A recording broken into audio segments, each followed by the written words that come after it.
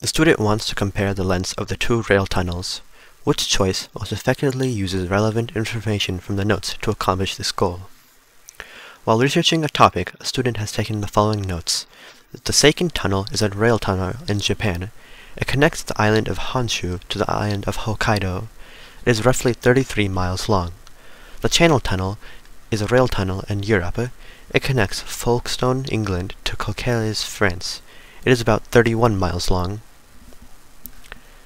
A. Some of the world's rail tunnels, including one tunnel that extends from Folkestone, England to Coquelles, France, are longer than 30 miles. This is incorrect because it does not compare the length of two rail tunnels, it just says that some of the rail tunnels are longer than 30 miles. So A is incorrect. B. The Seikan tunnel is roughly 33 miles long, while the slightly shorter Channel tunnel is about 31 miles long.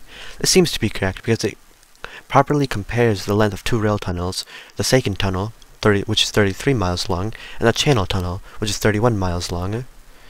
And it says how the Seikan tunnel is slightly larger, or the Channel tunnel is slightly shorter than the Seikan tunnel. So B seems to be the correct answer. C.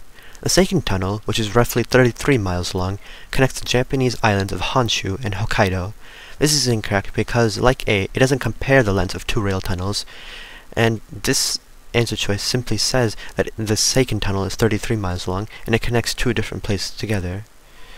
So C is incorrect. D. Both the Seikan Tunnel, which is located in Japan, and the Channel Tunnel, which is located in Europe, are examples of rail tunnels. This is incorrect because while it does discuss two rail tunnels, it does not compare their lengths. It simply says that they, these, it simply describes two examples of rail tunnels. So D is incorrect, and the correct choice is B.